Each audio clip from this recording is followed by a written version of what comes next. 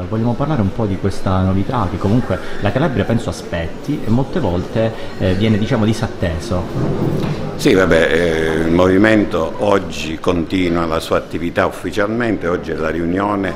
per istituire il Movimento Civico Tesoro Calabria, individueremo le basi giuridiche da cui partire e la partecipazione è quella che vedete, non ce la facciamo a contenere tutti in un'unica sala, dobbiamo fare, molti rimarranno fuori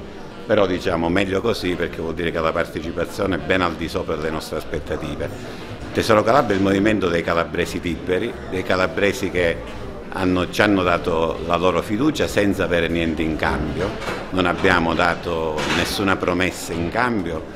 così come hanno fatto altri candidati che hanno promesso di tutto e di più, hanno pure eh, fatto ricariche telefoniche per poter avere le candidature, voglio ricordare che il voto di scambio è un reato penale,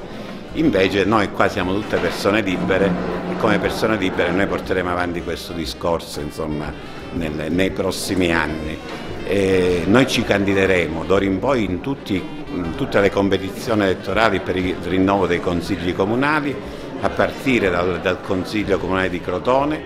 quello di Reggio, insomma così noi siamo lì pronti per poterci presentare e per poter rappresentare la, la Calabria migliore, la Calabria pulita dalle persone libere, dalle persone pulite.